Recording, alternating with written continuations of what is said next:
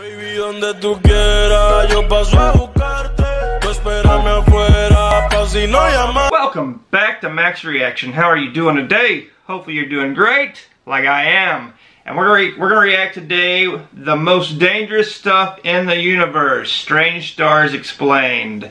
Um, I wonder what's in these stars that make them so dangerous. I don't know. Um, I do know I like looking up this uh, at the sky and just wonder what could be in these stars or on these stars. I realize stars are gas, you know, but there's more to it than that. So we're going to learn a lot today. I don't know too much about stars, but I do know they are beautiful in a dark sky. Let's check it out. Let's react to it. Let's see what we can learn together. Let's do this. Neutron stars are the densest things that are not black holes. Wow.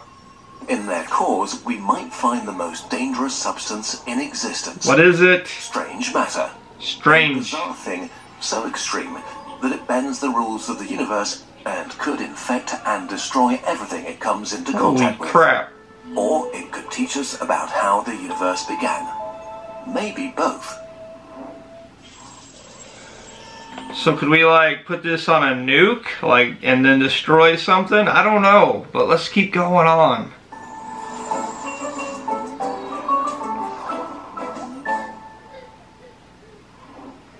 To understand how extreme strange matter really is, we first need to get a few basics. Let's do What that. is a neutron star, and how does strange matter break the rules of the universe? I don't know. To get all of this into one video, we'll grossly oversimplify a few things, but we'll provide you with further reading if you want more details. Simplified's good. A neutron star is what remains after a very massive star explodes in a supernova. Wow. When this happens, the like the star's core? collapses under its own gravity with such a strong inward force that it squeezes nuclei and particles together violently. Whew. Electrons are pushed into protons, so they merge and turn into neutrons. All the nothing inside of atoms is suddenly completely filled with particles that really don't want to be close to each other, but have no choice. That sounds They bad. Push back against gravity, against the collapse. If gravity wins, they will become a black hole. If they win, they become a neutron star. That's amazing. This makes neutron stars like giant atomic nuclei the size of a city, but holding the mass of our sun.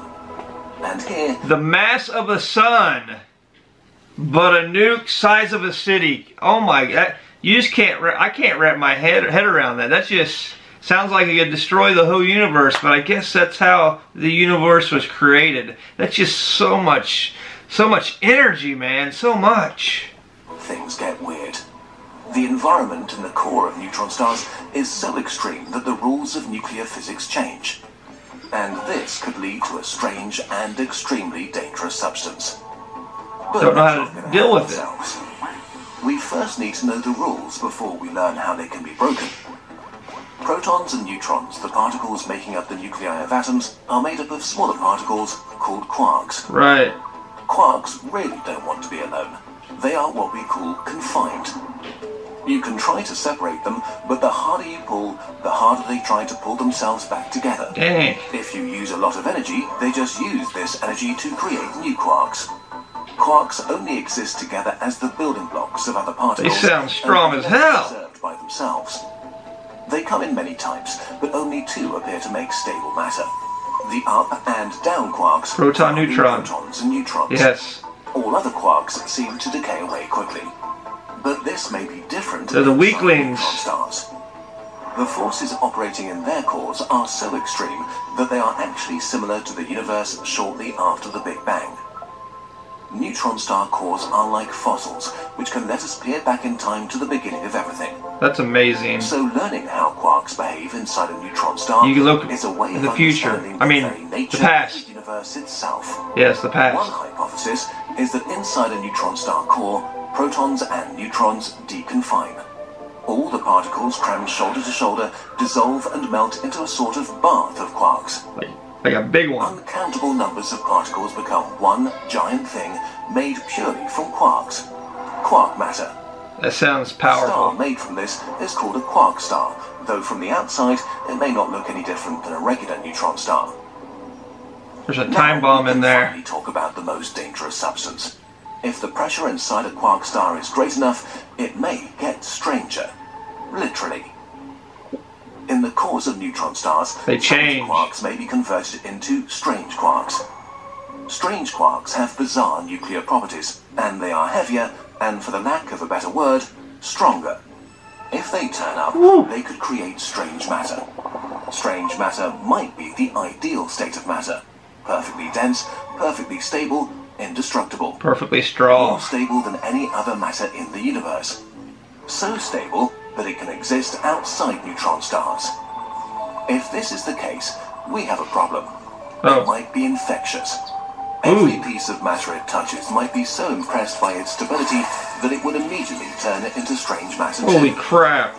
Protons and neutrons. Like turn us into it. and become part of the quark bath, which frees energy and creates It just grows. matter. Grows. The only way to get rid of it would be to throw it into a black hole. But then again, who cares? All of it is inside neutron stars. Except Is it? neutron stars collide with other neutron stars or black holes. I knew you were gonna say there are that. tremendous amounts of their insides, some of which could include little droplets of strange matter called strangelets.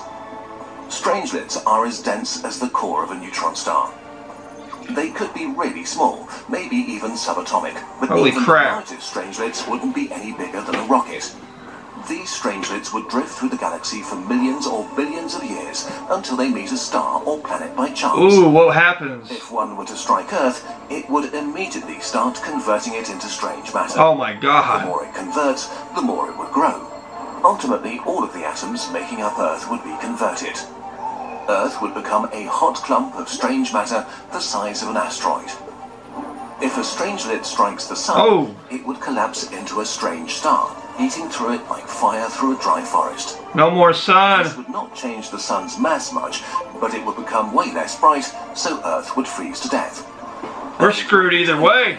We'd have no way to see a strangelet coming. Worse still, some theories suggest strangelets are more than common, outnumbering all stars in the galaxy. How did we not get hit? It could have formed very early after the Big Bang, when it was as hot and dense as a neutron star core everywhere. This is scary stuff. Be clumping around the gravity of galaxies as the universe expanded and evolved. Strangelets could even be so numerous and massive that they might actually be the dark matter we suspect holds galaxies together. But then again, Makes not. sense. This is speculation, and the Earth and Sun and planets haven't been consumed in a wildfire of strangelets in the past few billion years, so the odds seem good that it won't happen anytime soon. Hopefully so, or they're due.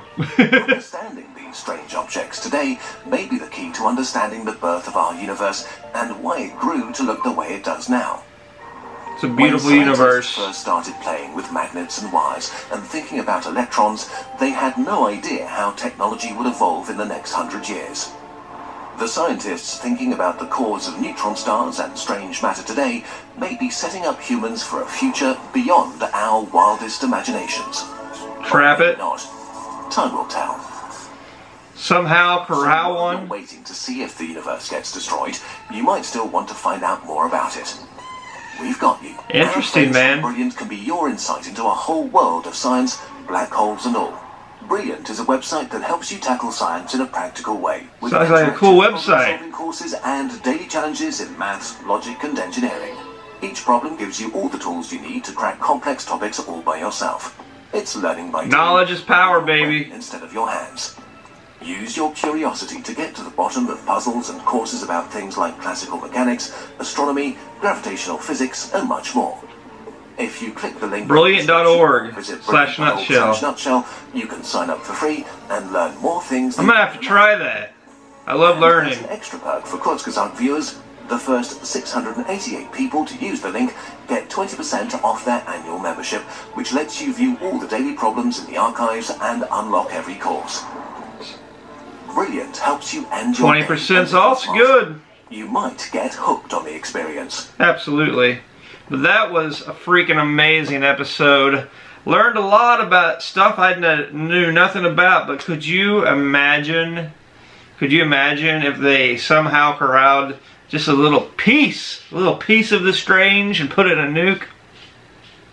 You wouldn't want to do that. The Earth's gone.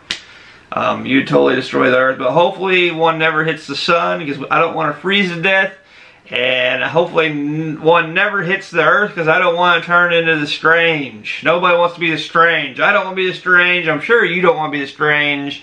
But um, it'd be cool if we could use the energy from it somehow, but I don't know how we would do that. How, how could you come in contact with it if everything it touches turns it into itself? I don't know if we'll ever do that. Hopefully we just learn a lot about it and um, hopefully it never hits us. But that, this is a scary topic in my opinion. It's kind of scary to me. I don't know. What do you think about it? Comment down below and let me know. Let me know what you're thinking. If you want to join my channel, please do. Hit that subscribe button. But like I said, definitely comment. I love reading all the comments. Peace for now. Baby, donde tú quieras, yo paso a buscarte. Tú espérame afuera, pa' si no llamarte. No traigas